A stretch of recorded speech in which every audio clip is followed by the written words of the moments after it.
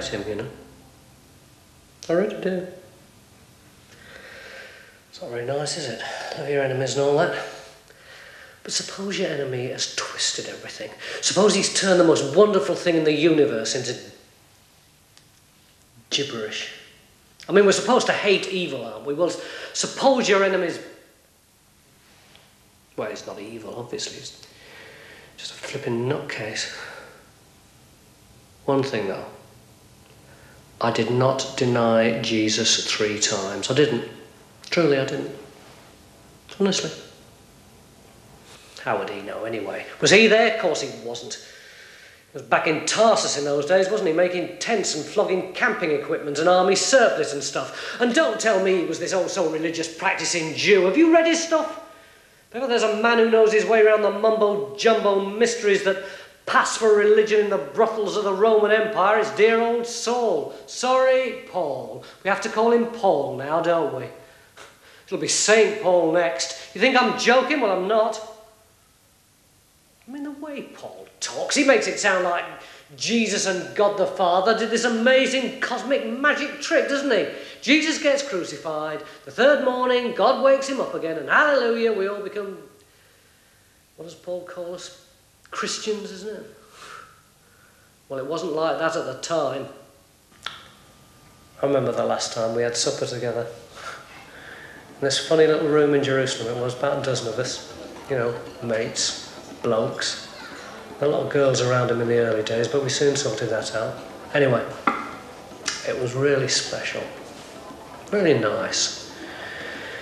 Been through a lot together by this time, but now this was the holy city. Some seriously heavy blokes about in the holy city, I can tell you.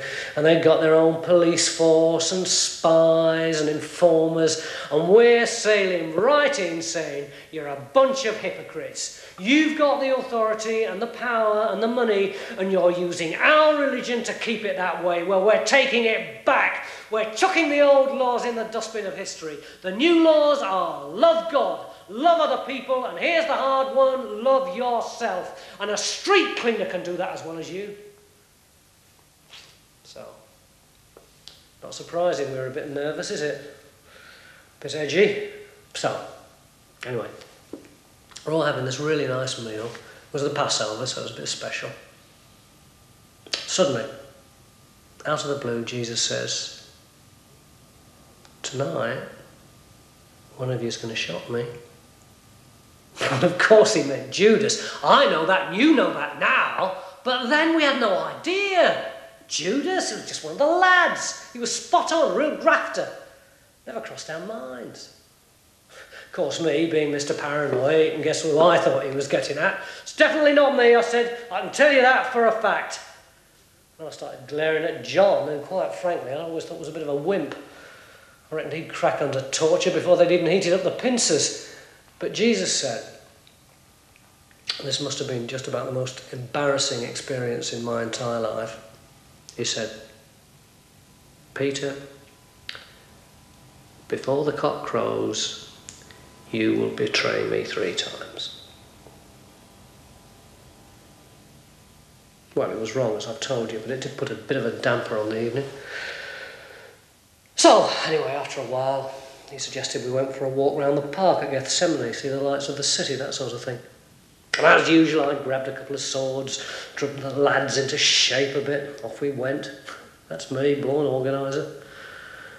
It's all very well Paul jaunting off to Corinth and Galatia and every slum in the Roman Empire where there's a few gullible primitives ready to fall hook, line, and sinker for his free ticket to the heavenly pleasure park. But who actually did all the work in the Jewish community?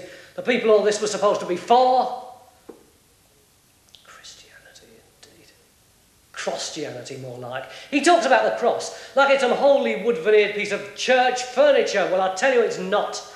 The cross is a particularly nasty piece of torture equipment. If you want to know how it feels to be nailed to one for a day,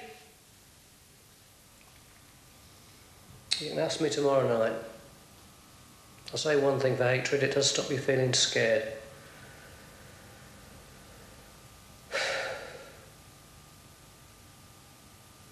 So anyway, we got to Gethsemane and it's late and it's dark and me and a couple of the others are doing the old security business. And look, this is a very good example of what makes me so mad. If we all fell fast asleep, how do we know what the governor was doing? Crying, praying, praying so hard the sweat was dripping off his head like his scalp was bleeding. Yes, we were all knackered. Yes, we had had a skinful. But either we saw it all and it was real, or we didn't, and it's just a bunch of fibs cobbled together by Paul's public relations boys. Look, I'll tell you what the fib was. The fib was that bit about us dropping off to sleep. I was awake.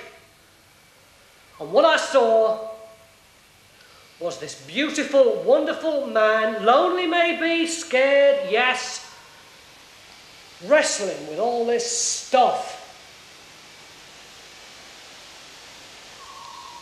Anyway, the next thing I knew, there's shouting and torches, and I open my eyes, and it can't be the enemy because Judas is with them, but it is the enemy. And they've got clubs and, and handcuffs, and our lads are flinging themselves behind logs and diving into bushes, and one of them's got his robe caught on something, a, a branch or something, and he's struggling to get away, and wow, it rips right up the middle, and the next moment he's racing hell for leather down the hillside, stark, daring naked. But I didn't run. I did not run. Betray him three times, no way. I'd got my sword right, and I started laying into this little Weasley fella. And then I heard Jesus' voice. And I looked round, and he had that look in his eyes that, that just completely opened you up from top to bottom.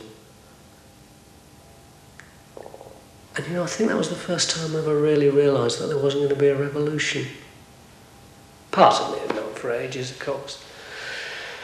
The lid nearly blew off in Galilee, and Jesus had just sort of, sort of walked away from it. But Whenever he talked about this wonderful new kingdom, part of me thought, yes, we'll smash imperialism. We'll smash inequality. We are the revolutionary vanguard. I reckon that's why Judas grasped him, actually. He reckoned it was the same old story the revolution betrayed by the revolutionary leader. I mean, Judas wasn't a bad bloke. I rather liked him, actually. I still feel.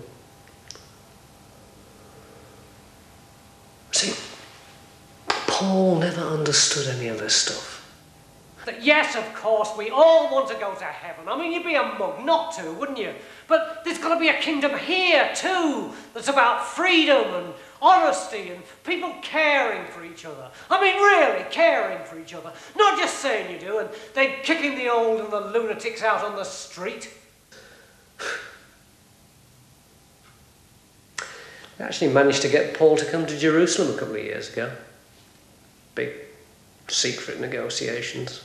Us lot, the survivors on one side, me, Jesus, his brother James, John. Funny about John, isn't it? I thought he was such a wimp, and it turned out he was probably the best of the lot of us. Anyway, on the other side there was Paul and a about 20 of his clones, all identical, all looking like corporate Roman executives with blissed out eyes. And we talked to him about Jesus, about what he'd really been like. A wedding at Cana, knocking over the money changers' temples, you know, real stuff. And how he'd never said a single word in his entire life about a new religion. And quite honestly, organised religion was the one thing that got right up his nose. And you know, I don't think Paul heard a single word we said. When we finished, he stood up, shook our hands, and he said, Oh, I'm glad you see things my way. It's great to know we're all on the same side. We were just a bunch of provincial hicks, and he was a man with a mission. God save us from men with a mission, eh? I managed to get away from Gethsemane and I followed Jesus and the soldiers back into town to to the high priest's house, and I'm sitting there in the courtyard and hood over my head, shivering, warming my hands by the brazier. And this stupid little girl, she was a servant or something, she comes up to me and she says, You're one of Jesus' lot, aren't you? And I said, I'm flipping not. I mean, obviously, I didn't mean I didn't know him.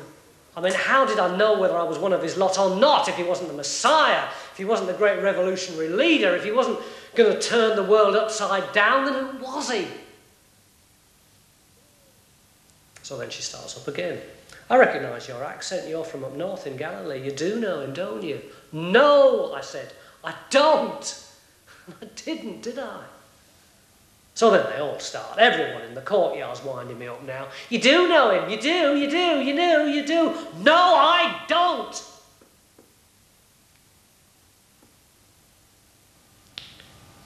And then the cock crew. And I swear on my life, I just wouldn't have that song. So, anyway, once Paul's little scribblers had got their hands on that story, they were over the moon, weren't they? Stupid old Peter, eh? Impetuous, ignorant, cowardly old Peter. oh, he's lovable, of course, and we've got to respect him, haven't we? Because everyone knows Jesus said Peter was the rock on which his ministry was going to be built. Although, quite frankly, if I'm as much of a pillock as I'm painted, Jesus must have been a pretty lousy judge of rocks. But as for theology, like what Jesus actually meant, Peter's totally clueless. You rely on Paul. Paul's the man for that kind of thing. He'll be dead soon, of course. Forget us all in the end. Paul, Luke, James. Me first in about 45 minutes. But they'll track the others down. The Romans are very efficient at that sort of thing, you have to give them credit. But after we've gone, it'll be the scribblings that'll be left behind, won't it?